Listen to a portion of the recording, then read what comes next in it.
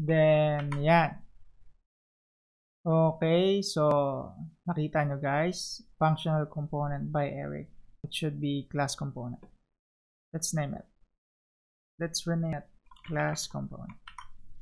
Ayan. So, okay. So, we are ready. To continue. So, ito na siya. Ngayon, uh, in order in order to use the state in a class component, uh, we'll have initial value this uh, counter Ayan. Okay. Then, uh,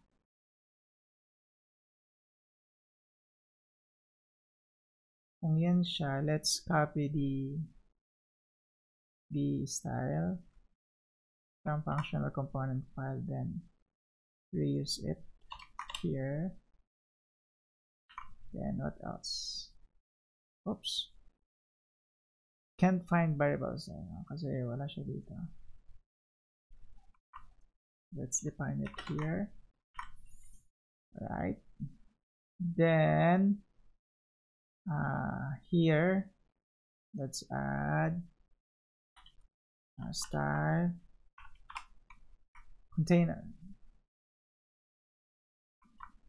Container. Yan. Oops. Styles. Container. Ayan. So, nasa gitna na siya. Ngayon, uh, let's just copy here itong mga to.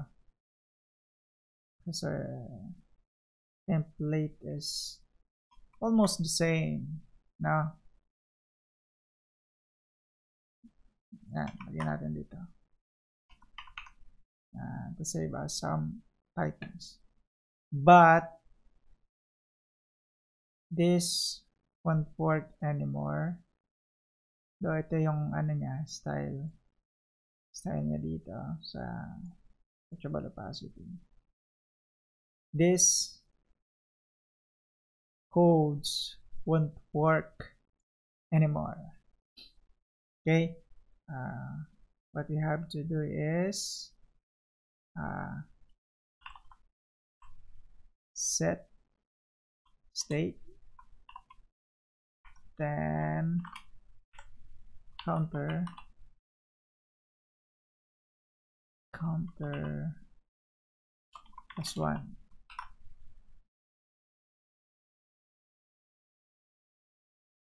so banner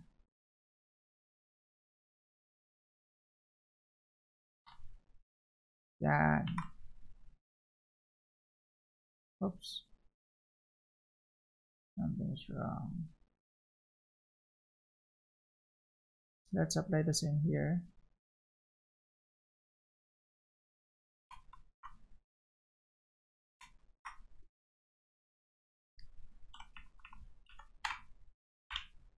Okay. So Ayan siya. Save. You have error. Ah, touchable opacity. Hinahanap niyan touchable opacity. So, let's add it here. And save again. Can't find variable counter. So, variable counter.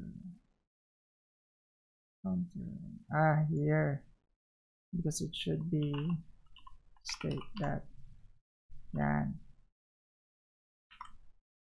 alright so yan na siya oops it doesn't work hmm ah okay this state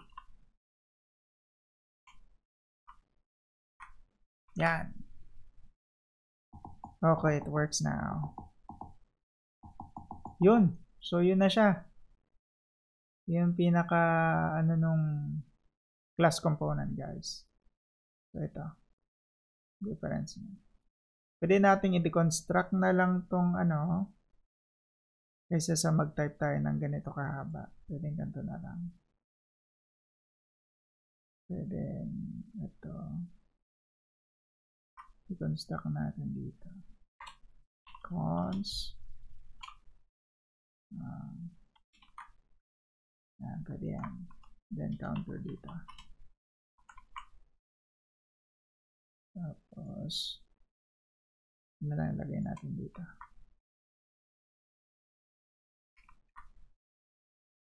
Then save, it should function the same. Alright, so it works. Okay guys, yun na yun. You'll see the difference of the codes. Hmm, para medyo nabusog pa ako ah. So, ito yung class component. Yan natin ah. Show it side by side. And this is the functional component. So, almost the same lang naman dito sa ano niya. Kasi ganito yun. Yan, the same lang naman yung ginamit ng ano, component from React Native. Yan, style ito. Nareuse ko lang din. Then, this is the different. Yan. So, diba? Let's see guys. So, yun na yun guys. So, thank you for watching. I hope you learn from this tutorial. So, don't forget to subscribe to my YouTube channel if you are just new. And also, uh, comment, like, share this video on your Facebook page. See you on my next video, guys. Thank you.